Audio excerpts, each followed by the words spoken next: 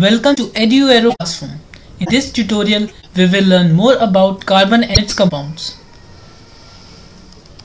Now let us first discuss functional groups. Atoms or group of atoms which attach to carbon chain by replacing hydrogen and determine the properties of the compound are known as functional groups. Some functional groups are given as chart. Like number one is halo. Halo stands for halogens. So it includes chlorine, bromine, iodine, etc. The formula of these four groups are represented here. ClBr. Second is alcohol. Alcohol is the second functional group represented by OH. Single bond is left behind. This single bond is attached to carbon atom and hence it replaces hydrogen from carbon atom and uh, without affecting the valency of carbon atom. Second is aldehyde. It is CHO. The formula is represented here. Third is ketone. It is CO. The formula is there. Fourth is carboxylic acid and its formula is represented in the chart. Let us now talk about nomenclature that is naming of carbon compounds. There are certain rules for naming the carbon compounds.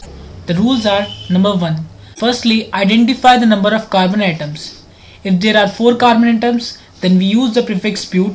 If there are 5 or say uh, 5 carbons, then we use the prefix pent and accordingly we use the prefix uh, uh, according to the number of carbon atoms present in the compound. Second is, if functional group is present in the compound, it is indicated by using a suffix or prefix in the name of the compound. For example, if alcohol is attached to a chain, then then we know that it is used as a suffix. Hence, we use it as a suffix in the name like propanol. Third is, if functional group used in suffix, the name is modified by deleting finally and adding appropriate suffix. Like we take the example of propanol. The spelling of propanol is propane. Firstly, the spelling of propane is P-R-O-P-A-N-E. When alcohol is added to it, that is, uh, it is present in suffix. So uh, we drop the finally, that is, the remaining uh, portion is P-R-O-P-A-N and add all to it. So we get propanol. In this way, the nomenclature is done. Now fourth rule of nomenclature is, if carbon chain is unsaturated, then ane is replaced by ene for double bond and ine for triple bond. For example, if we have propene, propane and uh, a double bond is present, then we replace ane by ene and we get propene. Similarly, we get pine. If you look at the uh, table, you can easily understand the rules of nomenclature. The first group is halogen. It is used in prefix like chloro, bromo, etc. The compound here is propane, chloropropane as it is used in prefix. So first we uh, put chloro and then we put a compound name that is propane. Second is alcohol. It is propanol as 3 carbon atoms. Then is aldehyde that is CHO group which is propanol 3 carbon atoms. Ketone propanol 3 carbon atoms. Carboxylic acid it is also used in suffix 3 carbon atoms. So propanoic acid.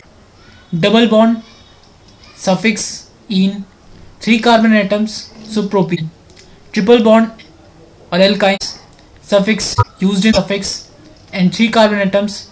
Uh, so propyne let us now talk about combustion when carbon compounds are reacted with oxygen they produce water carbon dioxide and heat and light energy for example when carbon is reacted with oxygen, it forms carbon dioxide and heat and light.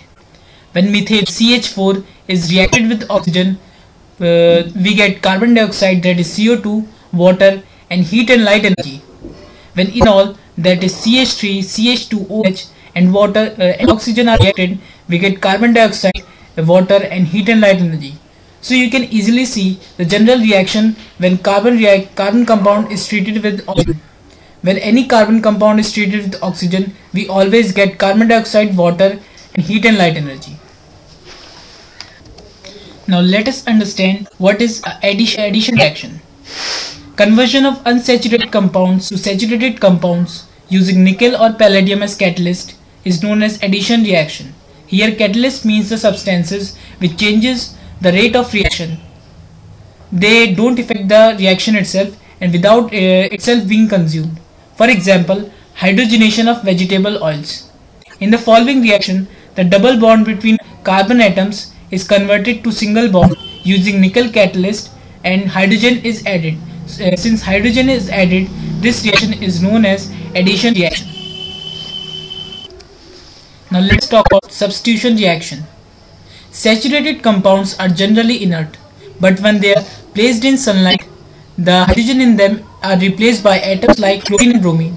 For example, in this reaction, from methane, hydrogen is replaced to form CH3Cl and HCl is produced. Similarly, in all saturated compounds, when they are kept in sunlight, hydrogen is substituted by uh, atoms like chlorine or bromine. Say uh, this reaction is known as substitution reaction. Let us now talk about ethanol. Ethanol is EC2H5OH. The functional group attached in ethanol is alcohol, that is OH.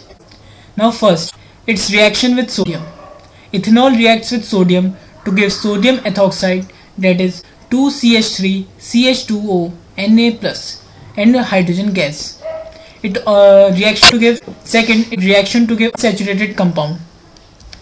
In the presence of sulfuric acid ethanol converts into a unsaturated compound. For example ch3 ch2oh is converting h2 into ch2 double bond ch2 that is ethene so single bond between carbon atom is converted to double bond that is in the ethene uh, molecule.